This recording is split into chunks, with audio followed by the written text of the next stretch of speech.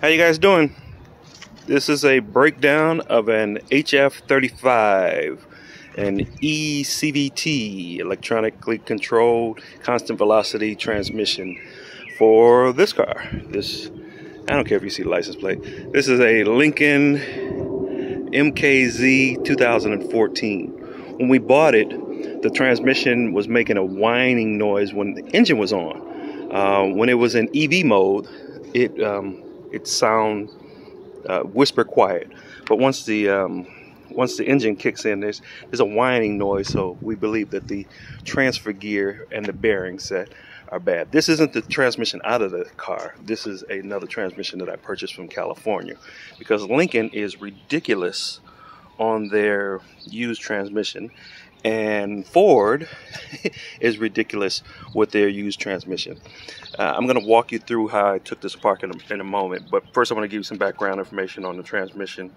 The transmission uh, part number is DG, I could show you, but it's, it's down deep in there, is DG987000EC.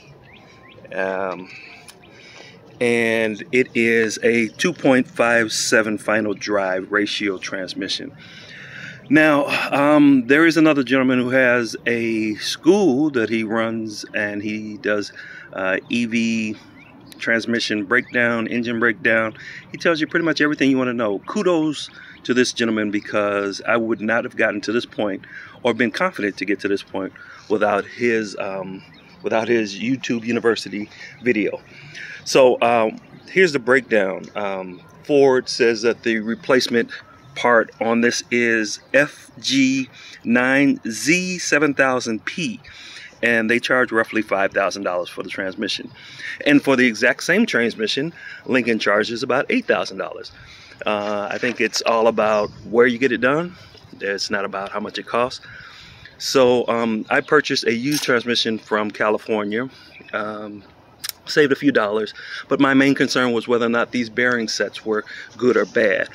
And um, and that meant that I have to open it up. Also, there is a filter inside the transmission. The filter number is DG9Z7A098A. And this filter can only be changed from inside the transmission. Okay? Um, what you want to take a look at is you want to take a look at the bearings here and make sure that there's not too much wiggle and you want to make sure that they ride smoothly and you want to look at how how scored they are or how clean they are you also want to take a real good look at your teeth to make sure that they're not scored so my intention is to have this installed in that Lincoln and um, I didn't want to waste money having a bad transmission installed. So this one, everything functions properly and it does spin.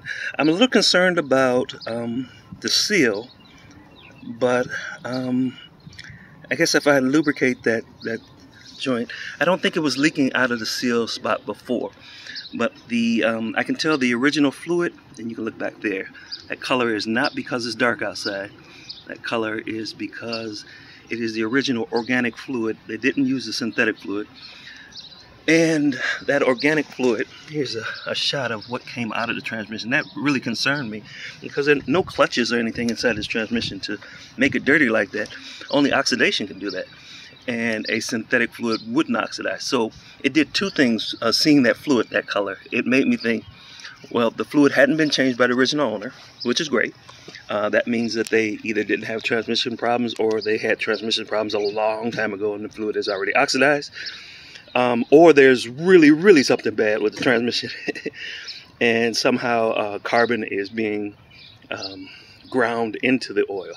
So I checked it with a magnet and it didn't seem like there was a lot of metal in the fluid, which um, still didn't, didn't help me determine whether or not these gears were good or bad. In order to um, remove this cover, in order to remove this cover. And you also want to check your uh, your bearing receivers.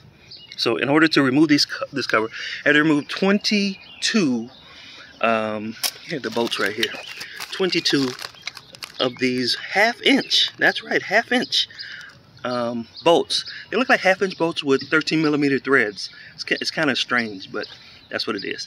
Um, they all go around the side, but right here you have a, a key pin and you have a key over here. So uh, if you're looking from the top of the transmission, these are your oil feeds in the front here. This is the top of the transmission up here. This is top of the transmission. This is the breather in the back. There is a pry point here after you remove all of the bolts. And don't forget to remove the bolt that's in the center. There's actually a bolt down in the center where the receiver is. And then um, there's another pry point here to break your bead. Um, you really don't want to try and stick anything in these areas because you may break the uh, aluminum housing or bend the aluminum housing. So they give you a break point to break it here and to break it here. And you have to break it at both points. And you notice that the, the key pins are in those locations. All right, um, so I replaced the filter. Uh, when I replaced the filter, there's actually a rest pin that's right about here. I pulled the rest pin up and this guy changed its alignment. So the rest pin couldn't go back down. But all you have to do is just move this, move this guy over. You can move it by hand. Move this guy over and it'll allow that pin to go back down where it's supposed to go. Uh, you want to check your, your pump gear to make sure that it spins properly with the rest of the gears as they spin. So that works out great. I'm going to test the um, test the uh, the resistance actually on the um, the three leads for the, uh, the, the drive motor and for the recovery motor, and just to make sure that um, that I get a, a, fixed reading on those and that it is reading something uh, that those windings aren't open. But that's it. Um, I'm gonna put it back together afterwards and make sure that everything is good. So here's the uh, the part number on yeah, here's the part number on the filter. There's the old filter in the case there. There's the, the old filter in the case.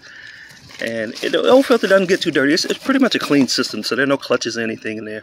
But it does get oxidized, which means that the um, the oxidation may get filtered out of the, the fluid. So, all right, uh, if you have any questions, comments, or concerns, as always, let me know. Um, right now, what I'm doing is I'm actually cleaning the the sealing surface between the two.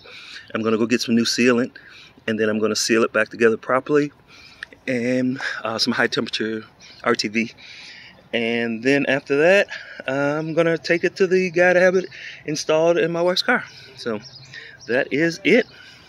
So, uh, and the way that I'm cleaning the seal is I'm actually using uh, isopropylene alcohol in a spray bottle. And I'm spraying so just spraying right here on the edge there. And then I'm using a Scotch-Brite pad. Now, in order to make sure that I'm not dropping a lot of stuff down inside of the transmission and then having to go back and clean it later, I'm using um, paper, a, a paper dam right here on the edge. And then I clean it and I make sure that everything comes on the outside of the transmission. So I'm not putting too much debris on the inside. That is it. Um, the whole job at Lincoln was quoted to me at $12,000. That is to get a new transmission from their supplier, put it in, and they give you a three-year warranty. Uh, Ford, for the exact same thing, the exact same transmission, with a little more expertise, because it seems like Ford does it a little, a little more often on their Focus and their C-Max. Um, they charge $8,000 out the door and give you the same three-year warranty. So if you're having this problem, uh, handle it as best you can. Uh, do it within your skill set. This is outside of my skill set, but um, I'm always up for saving as much money as possible and gaining as much knowledge as possible about what's going on inside the car or any device that I own. All right. So you guys take care and have a good day. Bye bye.